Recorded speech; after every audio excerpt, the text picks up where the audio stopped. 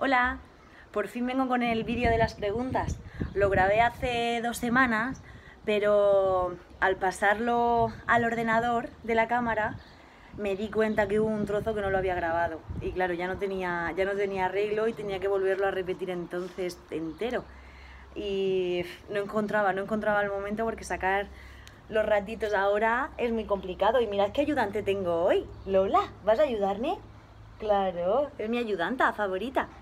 Venga, pues vamos a empezar con las preguntas que, como os dije, quería hacer uno de estos vídeos de preguntas una vez al mes. O sea que este corresponde al mes de mayo, como os dije, porque el anterior ya lo hice, pero del mes de mayo no tenía ninguno, que me hubiera dado tiempo, pero como os he dicho que se borró, no pude publicarlo en ese mes. Así que lo he tenido que hacer en junio. Pero bueno, aquí estoy para responderos a todas las preguntas que tenéis que no son pocas, machos, sois muy cotillas, ¿eh?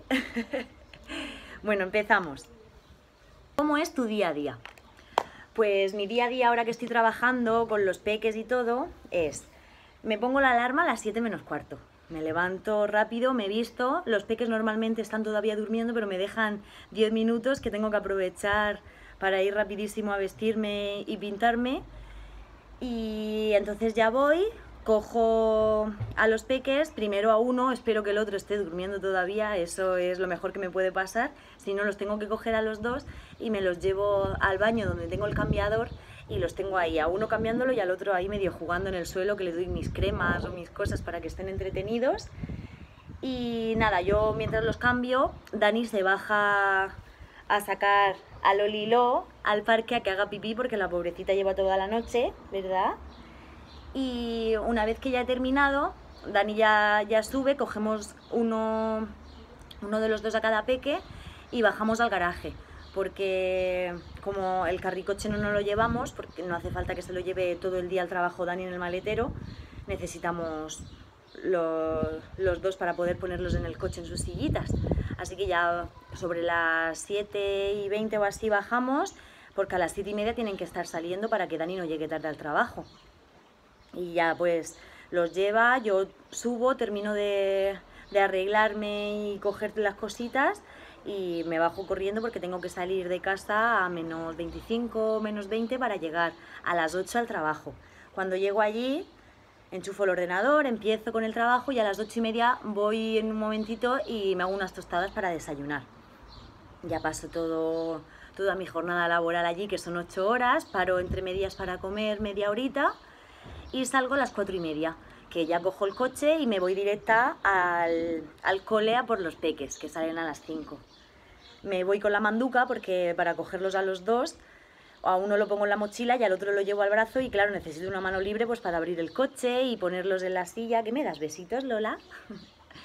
y ya de ahí nos vamos a casa, que Dani está esperando para darle un yogur a los peques, porque ellos han merendado ya en el cole, pero claro, a las 3 y a las 5 y media tienen un poquito de hambre y si no, no alargan hasta la hora de la cena.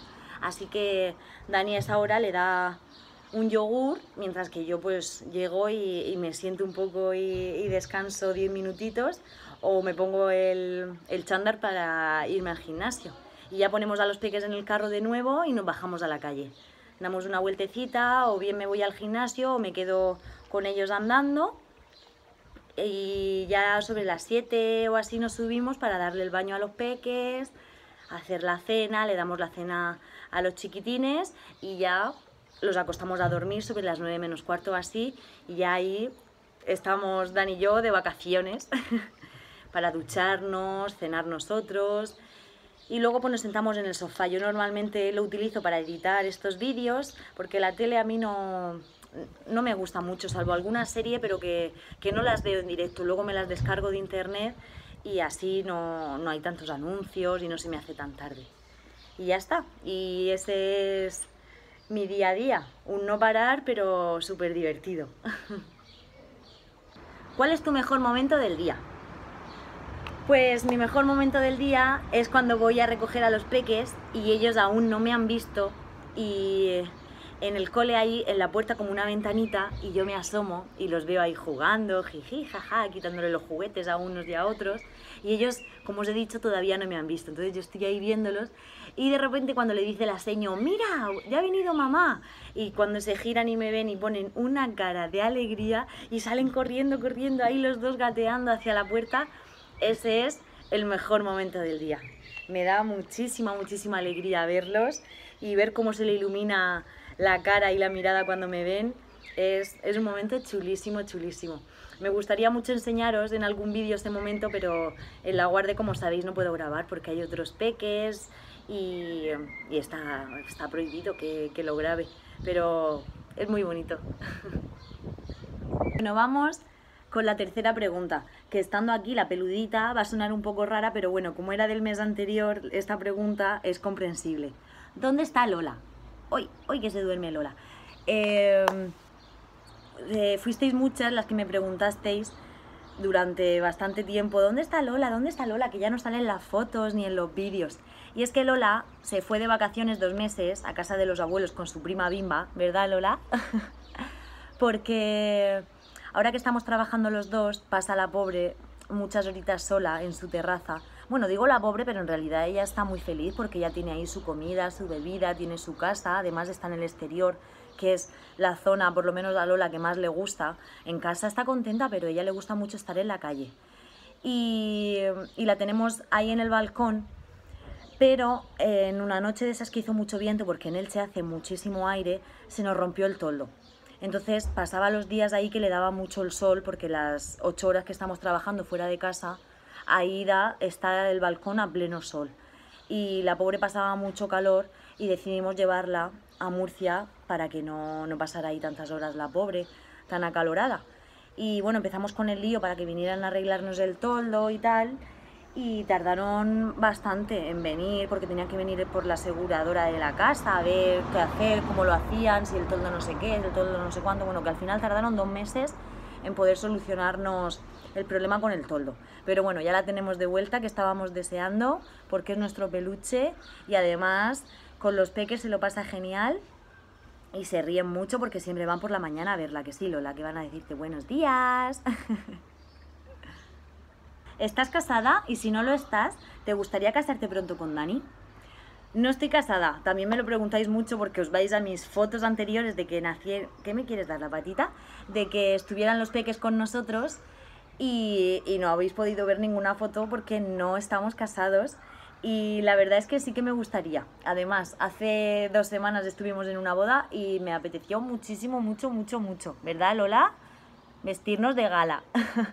Y sí, sí que me apetece, pero todavía son muy pequeñitos y a mí me gustaría por lo menos que, que ellos pudieran ir andando solos y, y, que fueran más personitas, porque ahora todavía necesitan a dos o tres personas encima para, para cuidarlos y quiero que disfrutemos todos y que ellos se enteren un poquito dentro de, de sus posibilidades, pero que, que disfruten también de lo que es el día.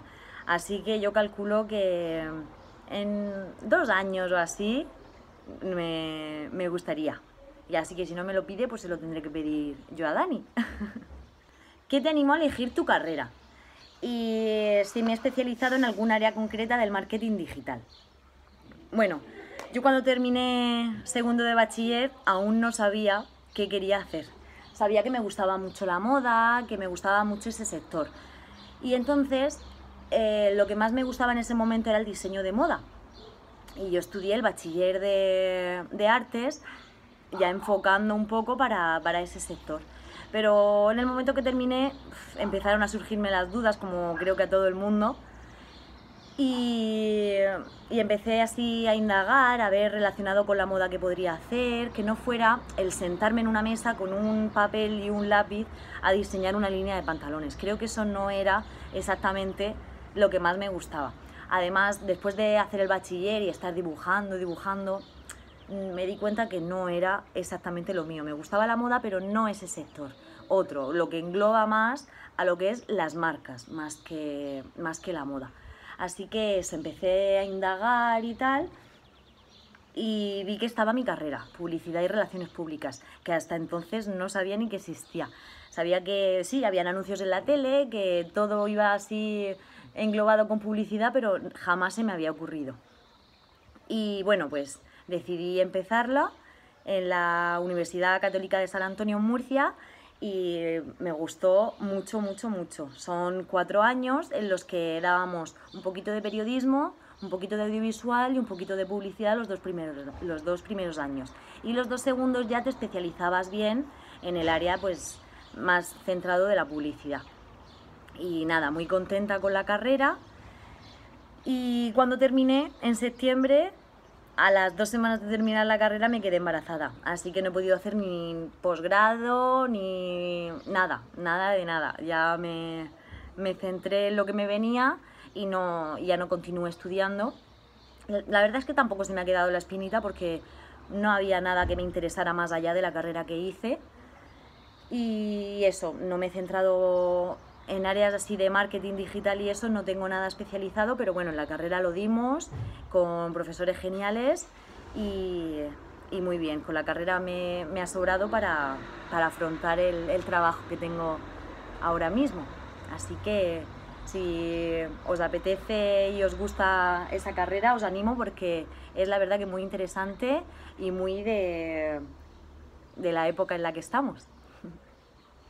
Cuando ella y sean mayores, ¿los vas a seguir vistiendo iguales?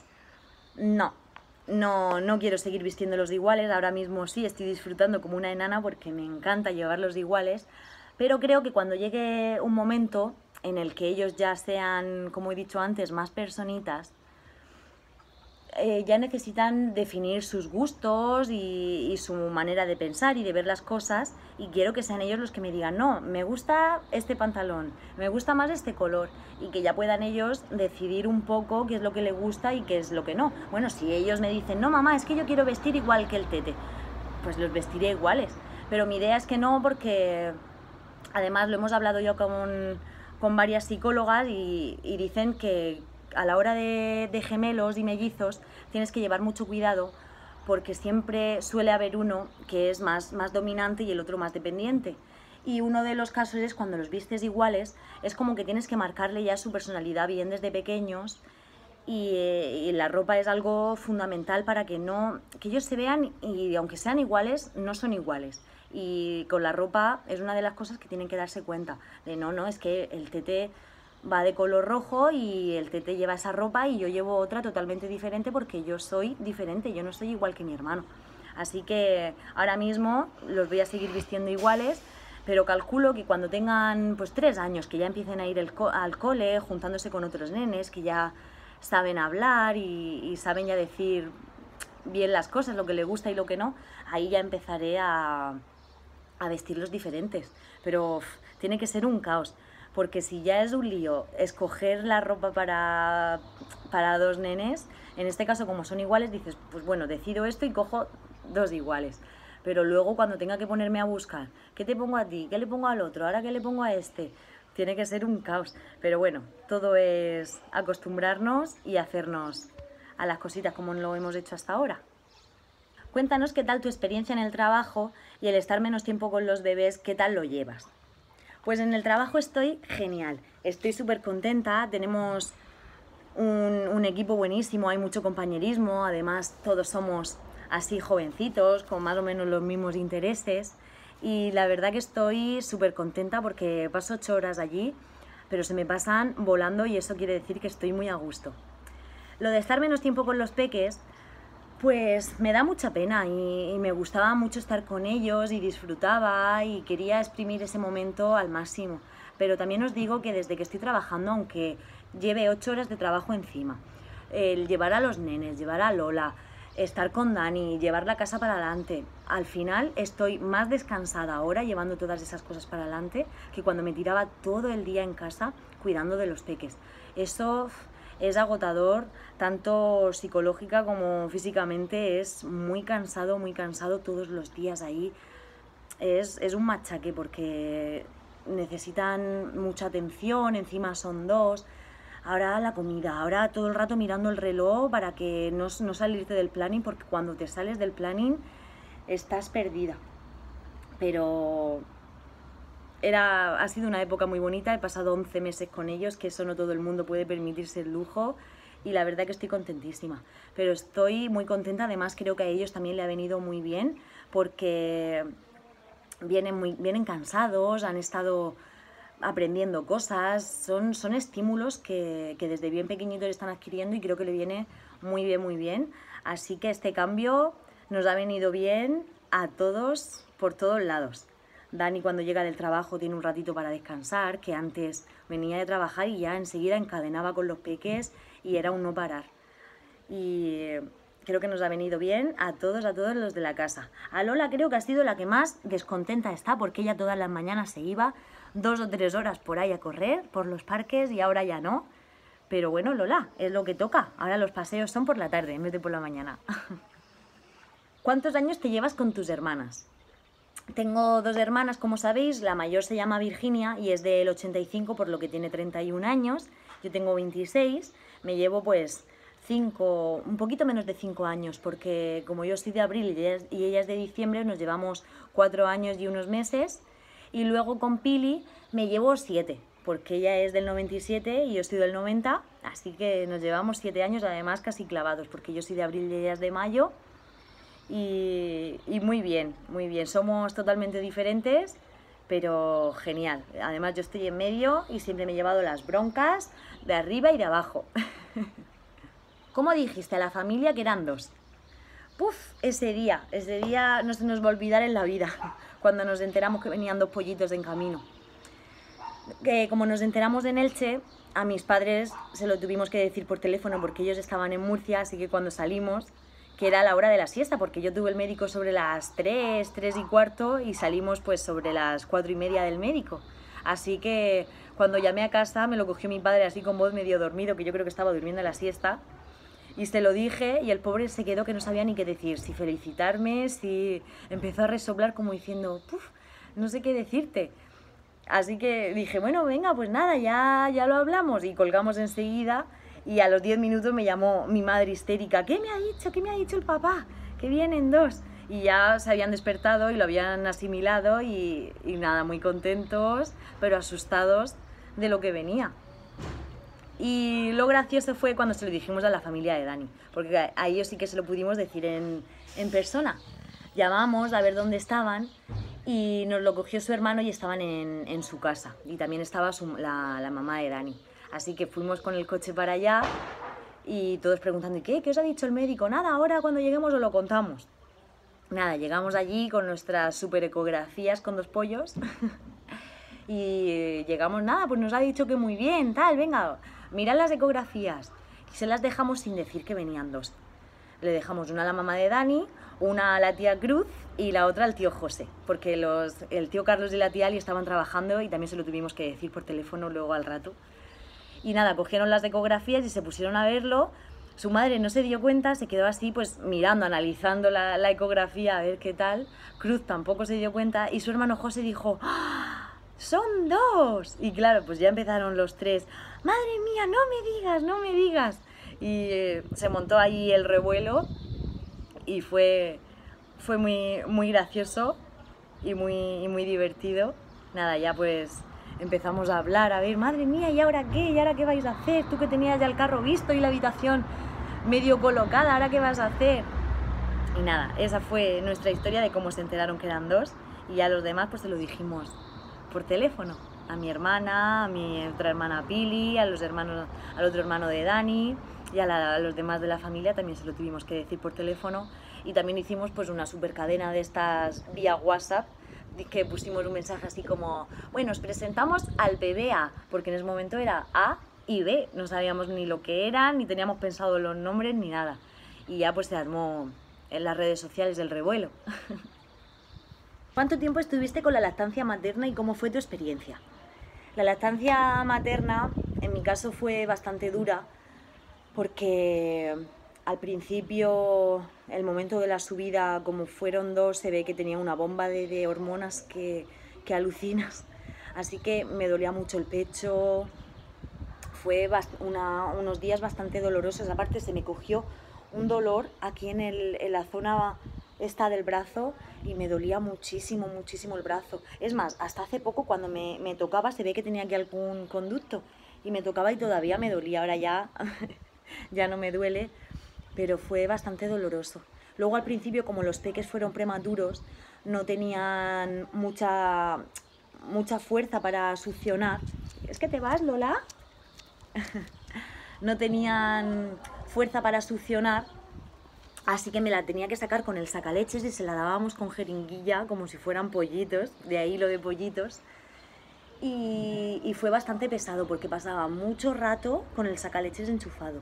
Luego el rato de dárselo. Luego ponte a limpiarlo todo, ponle a cambiar el pañal y ya otra vez enseguida con el sacaleches enganchado. Pero bueno, gracias a eso pude darle el pecho porque las dos primeras semanas fue, fue así, sacándomela hasta que los nenes ya cogieron un poquito de, de fuerza y peso para ya empezar a, poder succionar y comer por ellos solos. Luego la lactancia materna yo se la estuve dando hasta, hasta los seis meses. En el momento ya que empezamos a meterle cereales y, que ya la dosis que, pedían era, era demasiada y yo no, no podía, ya no, llegó un momento en el que no producía más. Me acuerdo que era, podía producir hasta 150 mililitros para cada uno. Ya a partir de ahí alguna vez a lo mejor 180, pero porque la toma anterior la habían alargado un poco, pero normalmente eso, hasta vivir de 180. Claro, cuando ya pedían 240 y cosas así, se quedaban con hambre y teníamos que meter leche de fórmula. Y esa de fórmula se la metíamos con, con cereales y ya se acostumbraron al, al vive y dijeron, puf, los biberones, el pecho ya para ti, mamá, ya pasamos. y bueno, también pasé por tres mastitis. Claro, como era tanta leche la que, la que producía, pues se ve que se iba acumulando ahí un poco de, leche y, pasé por tres mastitis, que eso es lo más doloroso que he pasado nunca. Además, una fiebre altísima que hace que te encuentres fatal. Y sumado con el sueño y el cansancio, fue horrible, horrible. Otra cosa mala que destacaba yo de la, de la lactancia es que a mí me coincidió con el verano. Y claro, lo recuerdo como una etapa calurosa, calurosa, con los dos pollitos, que menos mal, eso sí que aprendí a colocarme a los dos porque si no, me podía tirar más de una hora dándole el pecho y así en 20 minutos terminaba. Y lo recordaba como, imaginaros, un 10 de agosto que, están cayéndose los pájaros del calor que hace y yo ahí con los dos pollos que desprendían un calor que te mueres, ahí enganchados como koalas. Pero bueno, ahora, ahora lo he hecho muchísimo de menos. En el momento lo, lo recordaba así como, Dios, qué duro, qué duro, qué cansada estoy pero ahora lo he hecho muchísimo, muchísimo de menos. Y cuando veo a, una mami ahora con un bebé dándole el pecho, digo, ay, qué bonito, cómo me gustaría. Viendo ahora ya la edad que tienen, que son, que ya entienden y empiezan a entender cositas y que vienen y te abrazan, me hubiera gustado mucho poder darle el pecho ahora mismo, porque tiene que ser muy bonito el que te diga mamá, teta, mamá, teta. Pero bueno, es una etapa que ha pasado muy bonita y estoy muy orgullosa porque mucha gente con dos no, no ha podido y yo por lo menos esos seis meses he podido disfrutar y decir que sé lo que es la lactancia materna y encima con dos que no, no todo el mundo puede decirlo y saber lo que se siente. Bueno, vamos con la siguiente pregunta y a esta se ha vuelto a apuntar Lola, la peludita. ¿Agradecéis todo el cariño de la gente? ¿Notáis mucho el cambio en vuestras vidas? Esto es para nosotros una auténtica locura. Es genial ver cómo, cómo la gente te reconoce. Es, es algo increíble, como esto ha crecido tan rápido, no, no es algo que, busques, no es que te levantes un día y digas, ah, voy a hacerme un perfil de Instagram y voy a empezar a, crecer y a, darme a conocer. No, yo tenía mi perfil de Instagram ya un montón de años y a raíz del embarazo y tal, pues empezado a, seguirme la gente, pues porque le gustaban las, las fotos que publicaba, el, la ropita de los nenes, los pollos que son encantadores, luego Lola. y, es fantástico, es, es maravilloso el ir andando por la calle y, que te paren con esa ilusión. ¡Ay, Fátima! ¡Qué ganas tenía de conocerte y, de ver a los pollitos! Y le notas de verdad en la cara esa, esa alegría que le da la gente cuando te ve es, es algo maravilloso y estamos súper orgullosos y, muy contentos porque, no sé, da, da mucha alegría. Hasta tenemos ya club de fans que es genial, que lo llevan unas niñas maravillosas.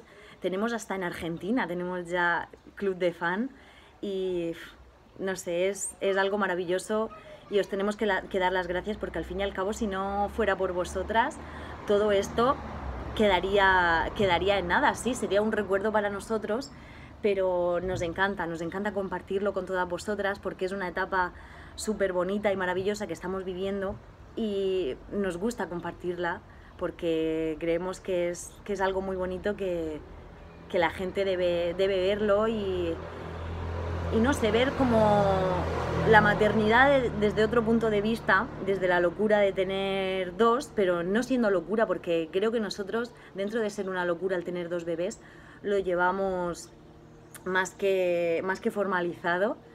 Y nada, sobre todo eso, daros las gracias y que nos encanta la, la familia que estamos formando a través de estas pantallitas y que me encantaría conoceros a todos y a todas y a ver si algún día hacemos una quedada genial y, y conocernos todos. bueno, pues ya está terminado el vídeo de las preguntas de este mes y nos vamos, Lola, a bañarnos un poquito a la pisti. ¿Sí? ¿Nos vamos a bañarnos a la pisti? bueno, nos despedimos hasta pronto, a ver si este vídeo de las preguntas no se alarga tanto como, como este.